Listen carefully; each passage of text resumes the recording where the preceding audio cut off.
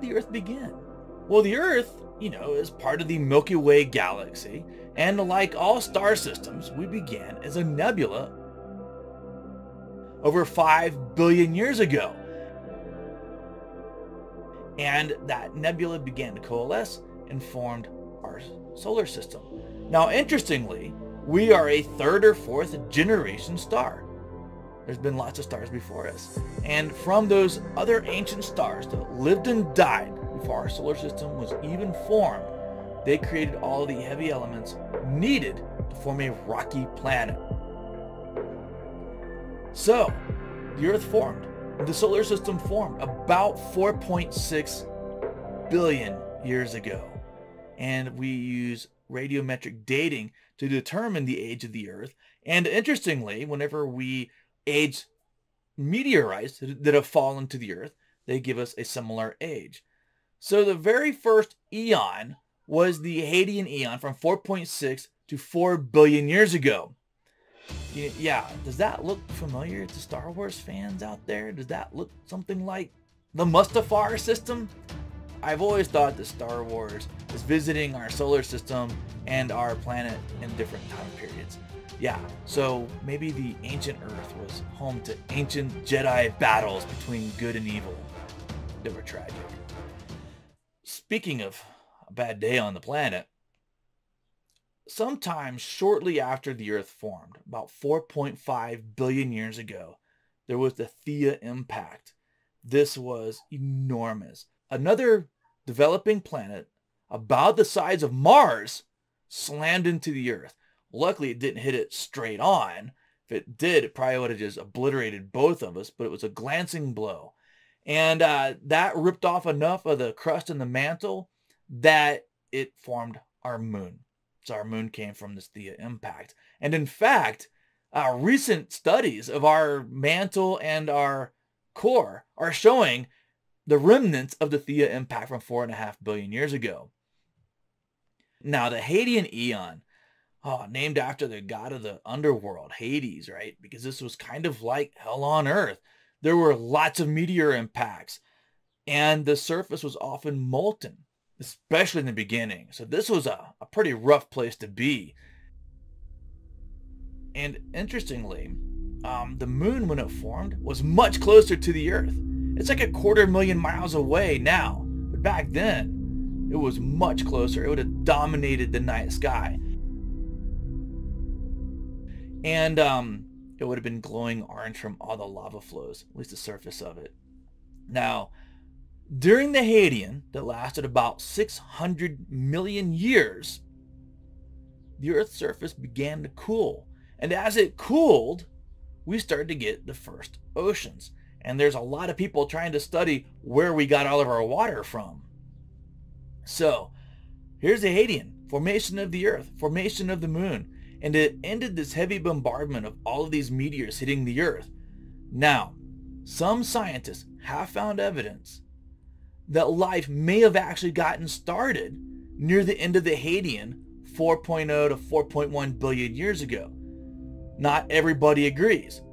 Me, I personally think that life probably started very early on this planet over 4 billion years ago. So at the end of this heavy bombardment, when like our solar system got cleared out of a lot of the debris left over from our origins, we begin the Archean Eon. And this lasted for 1.5 billion years, right? So it lasted a long time. And our continents formed. So what happened here is that the lighter rock that was mixed in our planet, right? Mixed in the mantle, mixed in the core, that lighter rock moved to the surface and the heavier rock sank. That's why we have a core made up of iron, which is good. Acts as a giant magneto and uh, spins up. It's slowly spinning, creating a magnetic field protecting us. So, yay. But our continents began to form. Now, they did not look anything like they do today. And in fact, because the Earth is such a dynamic planet, we don't know what those first continents look like. We just know they existed. And there are actually remnants of those first continents embedded in like parts of our modern continents like Australia and up in like Greenland and parts of Canada, which have some of the oldest rocks on the surface. We know that oceans are present and they were probably quite a, because when we do find ancient rocks, there's also evidence that they were underwater. So we know that by the Archean, were, the, the surface was cooling. We're getting our continents. We also have an atmosphere. Now, interestingly, if I dropped you off in the Archean, you'd be really mad at me if I didn't give you some oxygen to breathe. The Archean atmosphere didn't have any free oxygen. It was full of nitrogen, carbon dioxide, and water vapor. And there might have been some ammonia and methane as well. And this is important because those high levels of water vapor and carbon dioxide and methane help to blanket the planet and keep it warm. Our sun was actually not as warm as it was today. It was like 75% of its current brightness. So that thick atmosphere probably kept the earth nice and warm. We also know for a fact that life at least was going during the Archean. It either started at the end of the Hadean or got started at the beginning of the Archean. And we know that life was started because we see fossil evidence of this. And the origins of life from non-life is called abiogenesis. A means without, bio means alive, Genesis will start, right? Not just a cool 80s rock band. Sorry. But uh so origins of life from non-living, that's abiogenesis. And we think they got started in these alkaline vents. So how do we know? We see the fossil evidence. There are these structures called stromatolites. And stromatolites have been positively dated from about 3.8 to 3.7 billion years ago. These are bacterial colonies. So that means that life had to have gotten started before those stromatolites were, were forming because that's already an evolutionary adaptation. How cool is that? And believe it or not, stromatolites are still around today. And this is a picture from Shark Bay, Australia. No, I, I have not taken that photo. I would love to go there and take that photo of those stromatolites. One of the first key evolutionary innovations for life was the ability to replicate its DNA. This is crucial, right? Because if life never evolved the ability to store genetic information and replicate it, then life would probably be nothing more than a metabolically active rock. Metabolically active rock? What in the world do I mean by that? Imagine those vents where water is moving through them and they have tiny reaction chambers. Like the rocks are kind of like Swiss cheese and all the different holes are little reaction chambers that are building up organic molecules. So metabolism is chemical reactions, right?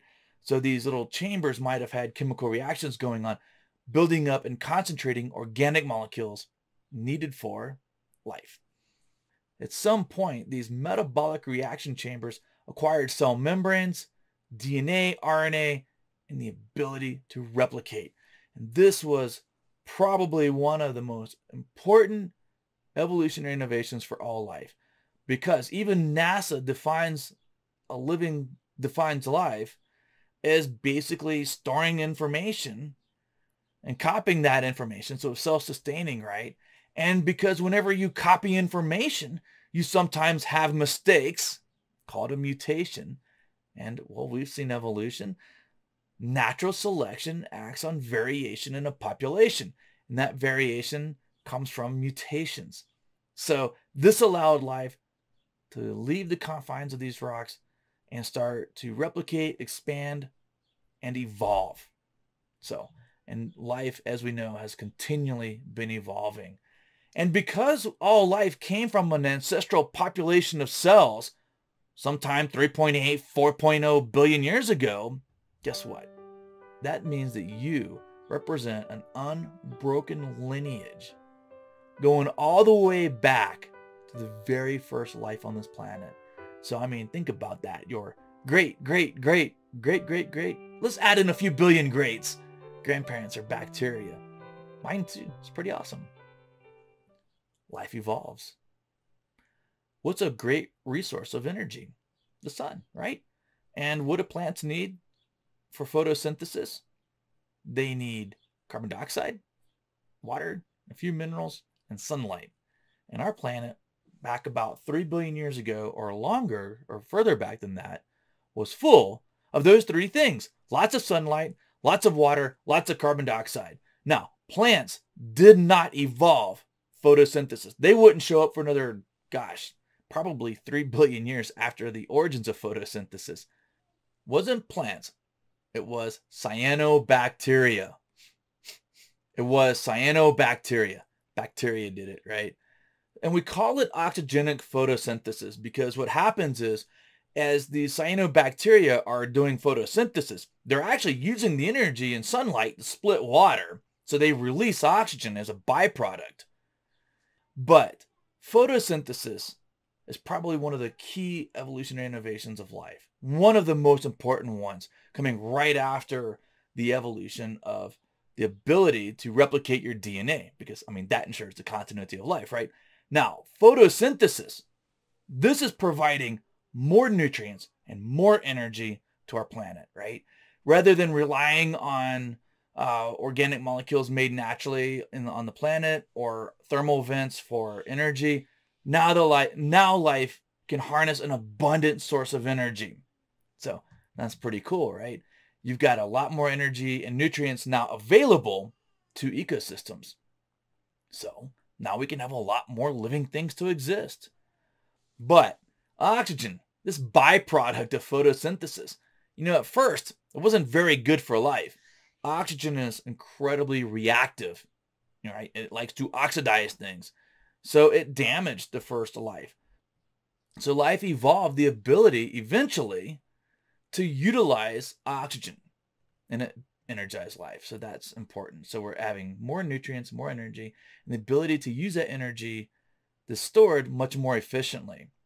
That's not it. You know, we're surrounded way high up by an ozone layer. Ozone is O3 and it filters out ultraviolet light. Now, ultraviolet light has a lot of energy. It can actually break apart water molecules. It can damage light because it, it damages our, our proteins, our membranes, and our DNA. Without the ozone layer, life would not be able to exist very well on the surface of the planet. And in fact, some have even speculated that if we never formed an ozone layer, that eventually the Earth may have lost their oceans because uh, you would split water. The Earth is not big enough to hold on to hydrogen gas. We don't have enough gravity. It's too light. We just escape into space. The oxygen was the oxygen would stick around, oxidize whatever rocks are around, and that's it. We would end up looking kind of like Mars. So, yeah, as you can see, photosynthesis pretty important. So all of that happened in the Archean, right? We clearly had the origins of life. DNA replication, and oxygenic photosynthesis. Of course, I call it oxygenic photosynthesis because we think the very first photosynthetic organisms used hydrogen sulfide rather than water, H2S versus H2O. And of course, that just leaves sulfur behind.